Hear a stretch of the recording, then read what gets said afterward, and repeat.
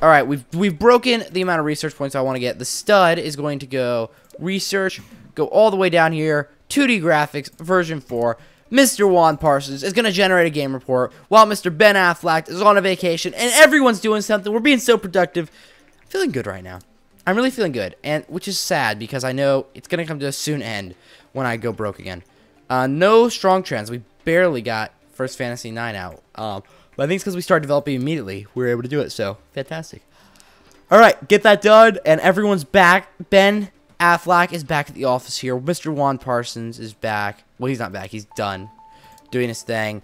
All right, guys, it's something time to do something complicated. We're going to develop uh, 3D graphics with version 2, 2D graphics version 5, uh, real, um, real est DLS, uh, but not those aren't estimations. It's just est, um, because est. I don't know why. Uh, moral choices need to be in here. This is going to be expensive. Uh, AI companions, we'll probably spend almost a million on this. And a soundtrack, yes. Uh, I don't know if we really need mono sound anymore. You know what I'm saying? Uh, I'm going to say no on mono sound. Uh, level better dynamic environment, better dialogues, dialogue tree, game tutorials, better user experience, save game multiplayer, video playback, basic physics, simple cutscenes, advanced cutscenes, more. Okay, I think we need everything. All right, we're spending 950000 on this engine. It'll be totally worth it. Look at this. Look at this. All Oh my gosh, all these. I think these are research points. The light blue. Uh, that's research. Um, but I think this is. Oops, I just paused for absolutely no reason. Look at this. Alive Space is actually done pretty decent. I mean, it's nothing like nearly as good as like you know First Fantasy Nine, but I mean, it's probably will break a million here on this last week, so which is great. It'll it'll make us a million in profits, and that's good. It's. I feel like if it makes enough where it's made up for all its expenses by the end, um, including the time, like all the money I had to spend in the meantime, like on you know, hiring my slaves, uh, which kind of makes them not slaves, actually, sadly. But I like to pretend they're slaves. Um, you know, it's a good thought. Okay, this is good. I want to hire another employee soon too. We'll have we'll have four people in here. I think the new employee was a great idea. I think that was something kind of holding me back, actually. Uh, hiring Ben Affleck, getting in here, bringing um, celebrity status to our awful, awful little company. Let's be honest. Um, making these failure of games, but he has gone out and advertised. While also, when he takes those vacations, I don't really feel that. Like, I don't really hate him for it because I feel like he's acting, um, trying to actually make real money because we don't pay him enough here. All right, um, we'll develop a brand new sequel to uh, our surgeon simulation game um, called Operating on Stuff. So we can develop these for the we developed for the PC. Well, the Xbox 360 is actually tr triple triple X for mature audiences, guys. Um, but we already know PC is going to do well simulation. And we'll build it on the brand new Real S DLS engine. Um, operating on Stofers. I don't know. All right, 2D graphics version for everybody. Wait, why didn't I get the 3D graphics? Oh, did I forget to put 3D graphics? Oh, that would be so frustrating. Because then I have to go back. All my games will be 2D again because I don't want to develop a new engine yet. Alright, um, engines, um, pretty important for this. So we'll go ahead and do some basic physics and video playback. We, well, we need save game. We probably don't need multiplayer. We don't need video playback. It's a simulation game. Gameplay, uh, we'll both those in there. And moral choices, who cares? We don't need that, any of that crap. We don't need none of that crap. Alright, um, yeah, probably good. I'm trying to, like, pull those. I want to, like, try to focus a little more on those. Maybe it'll help me get some more 10s in there if I really focus on what's on the side there. Uh, all right, for G3 this year, uh, I'm kind of thinking we go ahead and just do the medium booth. We'll make our fans love us. Yeah. All right, um, level design, yes. Dialogue is a little more, maybe.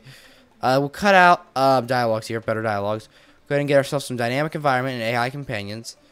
Uh, and AI, um, for some... I'm assuming that's three. All right, uh, let's do. Let's go with that. Sweet. All right. We'll go ahead and spend some more big monies on some marketing. Look at that. we we were over 5.5 million, I think was the highest I saw it. And now we're at 3.6. We've blown all our money on this stupid engine and everything. It was really not a smart idea at all. I'm not trying to like make me make myself sound good. This was probably the stupidest thing I've ever done, to be honest. But I'm proud. And that's what matters. Alright, we don't need a day and night. Well, probably need day and night cycle. Uh, because we need to, the doctors We'll have a lighting thing where it's harder to do them at night. Uh, it'll be one of those things where it makes the game challenging by making it annoying and bad. uh, which are the best games, as we all know. All right, let's see how we do at G3 this year. Maybe we'll make it in top 100 boosts for the first time in forever. Um, for the first time in forever, we're in the number one booth slot. We had Mbox 360 and PC games. Uh, we did okay, uh, but not top 100 boosts. But, you know, we got fans. People like us.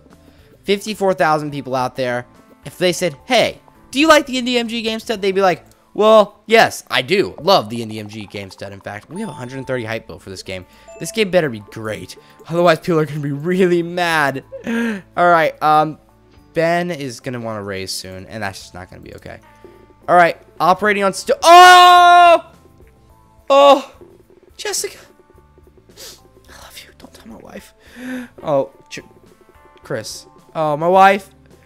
Oh, oh, my wife. See, this is this is why. This is why uh, I kind of got to think for Jessica right now. And Chuck says, "This is beautiful, guys. Look, look. Are you ready? Oh, oh, Ben, Ben, start working in the airport. Oh yeah, yeah, yeah. The money. Oh, I love the monies. Yes. Oh yes. Oh. Yeah, the new engine. It's the new engine that did it, guys. Out of nowhere, a company called Kick It. Oh. Oh, it's the oh, Ouya. Yep. Yep. Okay, I don't care. I, I give it up. Go. Stop. Oh. Guys. So freaking rich. Look at all the hits we've made. We've become a real company. We're real people. Oh, and you know what? It's time to hire a new person. Uh, we're gonna invest some big monies into getting someone good. We'll invest a whole five hundred thousand, actually, five hundred ten thousand, in fact. And we'll get someone who's show real, I guess. Uh, which maybe will make them good at design. I don't. Heck, I don't know anything. All right. Um, I don't. All right, operating on Stoford. All right, yes. All right, Riley Ruiz, uh, level three, experience 344 and 215 speed. All right. Uh, wow, you're not nearly as good. Uh, oh, oh, that's not bad. That's not bad at all. Um, I don't want, I don't really want that much tech. Maybe just gonna go with number one here. Uh, he's not the fastest researcher. This guy's a much faster. Well, this guy's got so much more speed. I kind of like him. All right, we're taking the chance here with Riley Ruiz. Um, hopefully that's how he says his name. He wears sweater vest. Um, which let's be honest, it's a bit nerdy. Um, but we don't, we're not gonna judge him for that, okay? Uh, we're gonna welcome him into the crew. We're all gonna go out um, and break his nose and basically just hurt him a lot, and that's how we welcome people here at the IndieMG Gamestead. It's kind of cruel, and they usually get offended, but that's okay.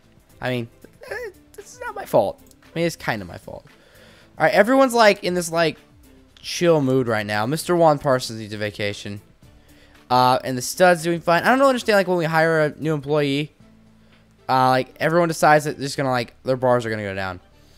Alright, uh, we're not doing anything right now, and that's just not, that's just not good. Alright, it's time to develop a sequel. And I know, like, I don't really develop new games enough, and I really need to. And if you guys want to leave some suggestions down below, you can do that. Do it right now. Go to the comment section below, say, hey, I want you to make this game. It could be a real-life game, and maybe suggest, like, an alternate title for it, because I think it's kind of fun. Like, um, to all these other ones, like Fallen, uh, which is our post-apocalyptic RPG. You can figure that out, I'm sure. We got First Fantasy 9. I'm sure you can figure that one out. Alive Space. I mean, come on. These are all, like, um, obviously, like, rip-offs to other games that I've come up with, and lots of them you guys have come up with, too. So, anyways, yeah, leave that down below in the comment section, and let me know. So, thanks for watching. I do hope you all enjoyed this video. If you have, don't forget to pound that like button down below and show your support. And as always, subscribe to join the team. You can connect with me on Twitter, um, at Nikc-Nack Games, or you can leave a comment on the channel or down this video, and we can say hello. We can have a nice talk. I'm also on Reddit uh, as the IndieMG, but I don't check that, so that was a pointless plug. Goodbye.